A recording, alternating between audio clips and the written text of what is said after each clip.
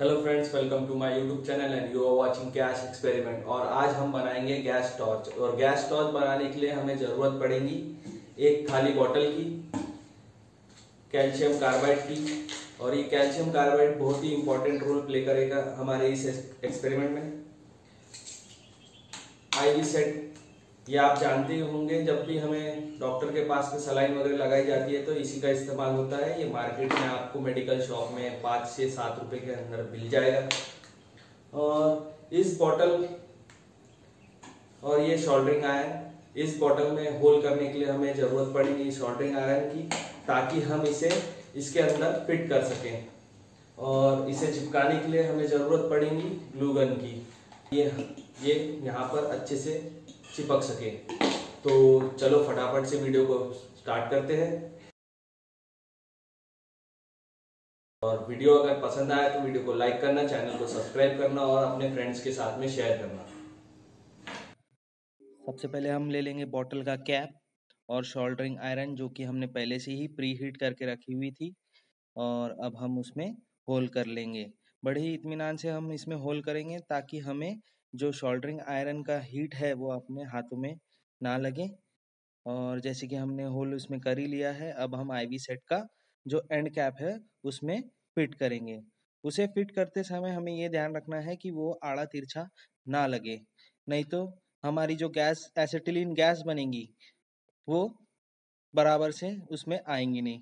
तो उसके बाद हम अपनी ग्लूगन ले लेंगे और उसके, जहाँ से हमने होल किया था, उसके चारों तरफ़ हम ये चिपका लेंगे। और चिपकाने के बाद ये हमारा रेडी हो चुका हुआ है। अब हम ले लेंगे एक कटोरी, जिसमें हम थोड़ा सा पानी डालेंगे। पानी डालने के बाद हम कैल्शियम कार्बाइड का एक छोटा टुकड़ा उसमें डालेंगे। तो आप देख ही सकते हैं, जैसे उसमें से बबल्स निकल रहे हैं। तो ये हमारी एसिटिलीन गैस है। इसे हम माचिस से लाइट करने के बाद देखिए क्या इफ़ेक्ट होता है। ये एकदम से चलने लगी। तो ऐसा ही हम उस बॉटल के अंदर करेंगे। और ये जो है हमारा आईवी सेट बन के रेडी हो चुका है। हमने इसमें ग्लूगन से चिपका लिया है होल करके। अब हमें ज़रूरत पड़ेगी हमारी बॉटल की। अब हम इसमें पानी डालेंगे।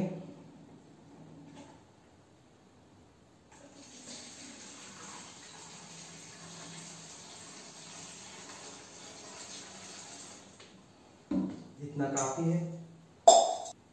पानी डालने के बाद अब हम इसमें कैल्शियम कार्बाइड के टुकड़े डालेंगे।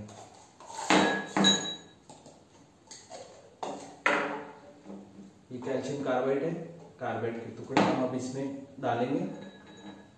जैसे ही हम इसमें कैल्शियम कार्बाइड के टुकड़े डालेंगे तो एसिटिलीन गैस जो भी है, बनना वहाँ स्टार्ट हो गई है। जैसे कि आपको वीडियो में थोड़ा सा उसकी जो आवाज़ है वो आ रही होंगी।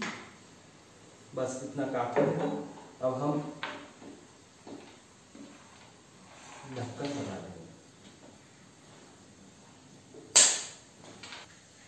माचिस ले लेंगे।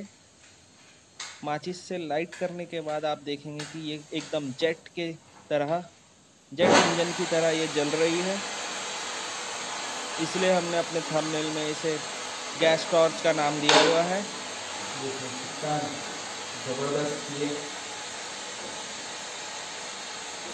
गैस बनी है, आप देख ही सकते हैं।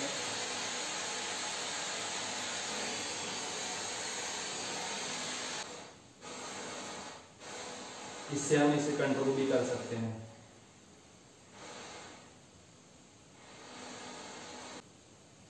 वीडियो अगर पसंद आया होगा तो वीडियो को लाइक करना शेयर करना और सब्सक्राइब करना और बेल आइकन को दबाना ना भूलना।